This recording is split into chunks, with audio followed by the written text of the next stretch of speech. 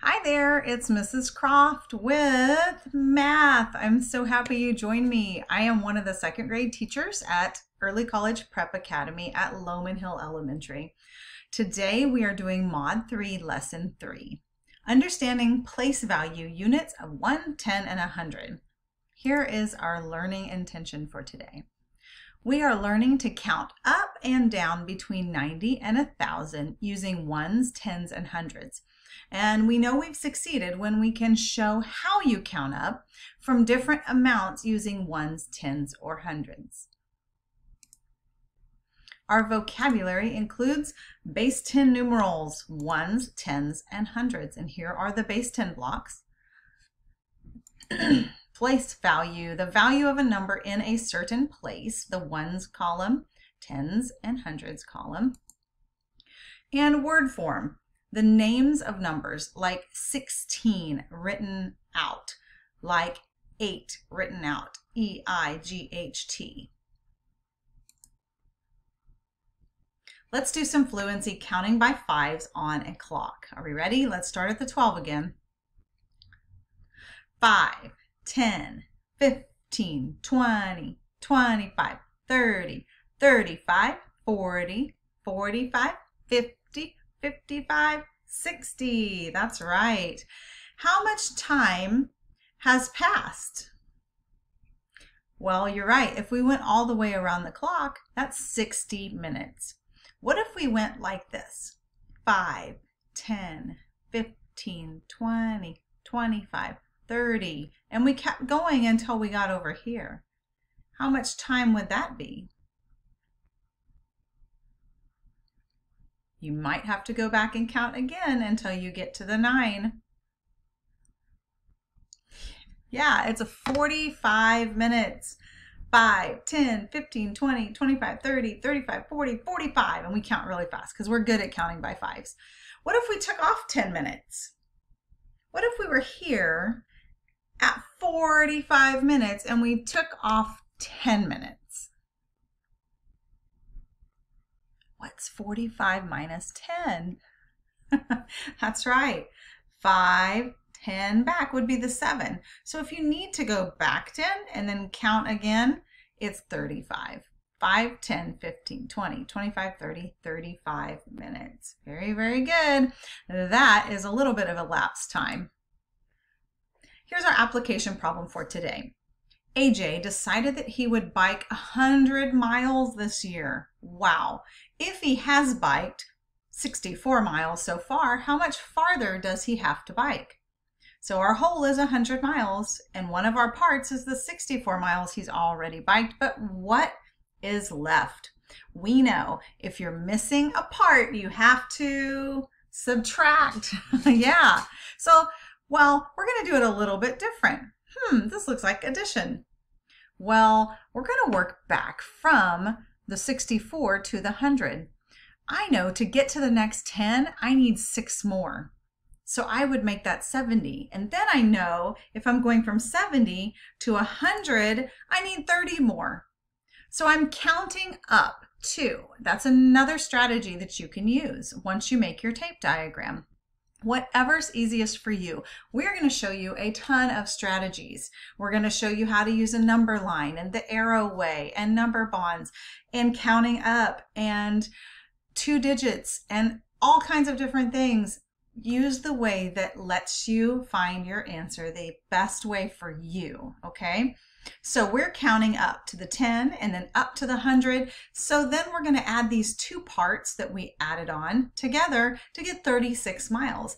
And if you need to check, you take 36 plus 64 to get 100 because 36 would be your other part. All right. Counting up by tens and hundreds. There's that bundle again. How many straws were in that bundle? Oh, it's a big bundle. That's right. There are a hundred. Very, very good. So we're going to take that hundred and we're going to take the 10 and we're going to take the one and we're going to count up. We're going to use ones, tens, and hundreds to count up from 90 to 300. So should we just start counting with ones all the way? 91, 92, 93, 94, 95, 96. And wow, you're right. That is not an easy way, a quick way, or the best way to add up to this 100. Okay, can we just use hundreds? Can we say 90 plus 100 is 190 plus another 100? That gets a little confusing.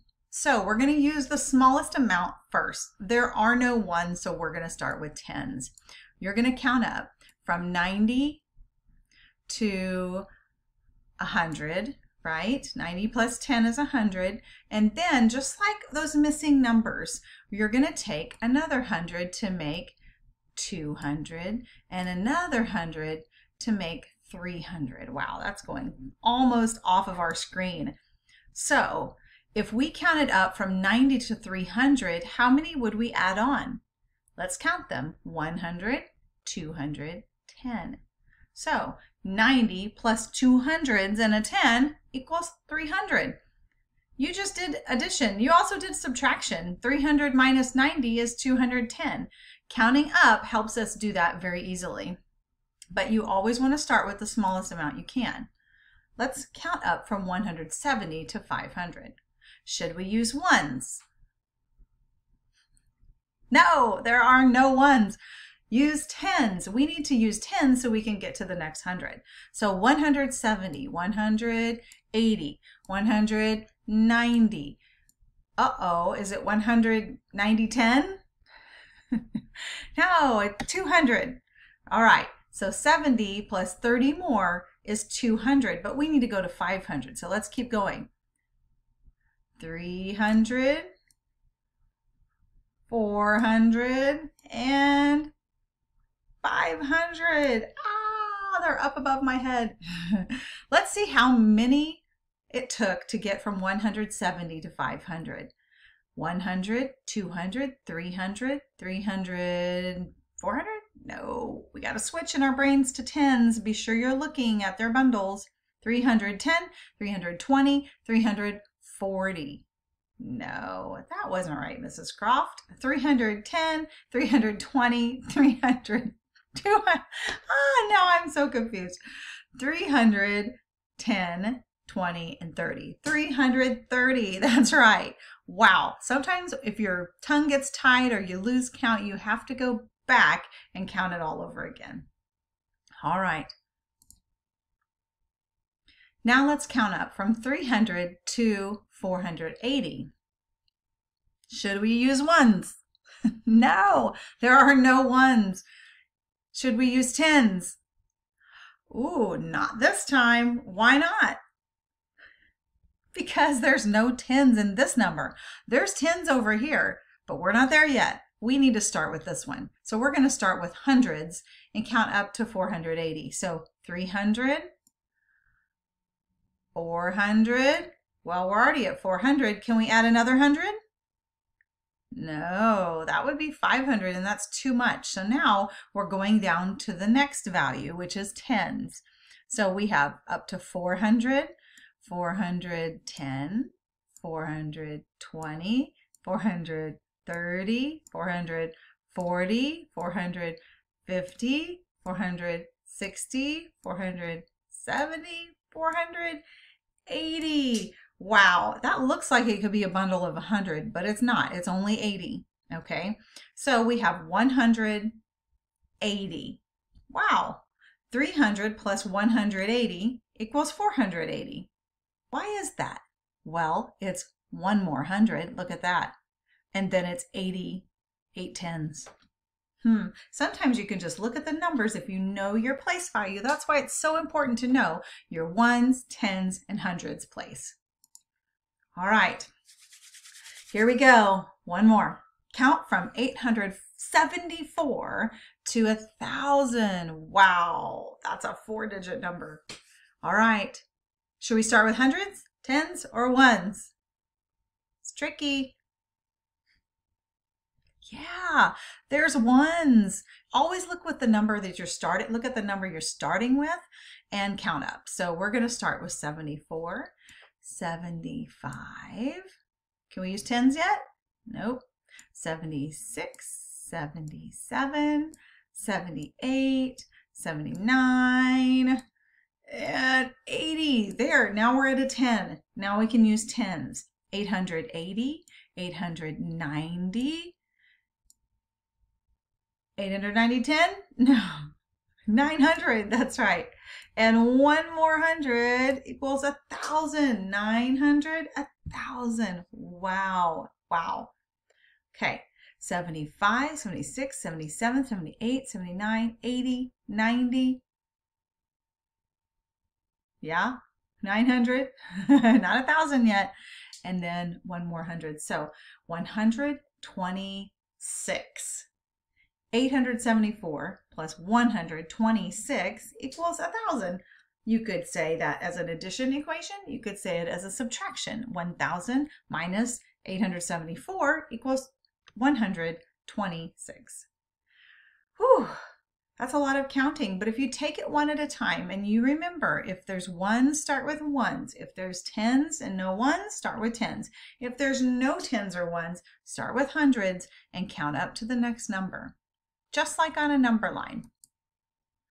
All right, that was a lot today. I totally understand if you need to go back and watch it again, and uh, then you can do your exit ticket. So you're going to draw a line to match these numbers to what you would add. So you have to be careful and look, are there ones or hundreds or tens, and what are you going to need?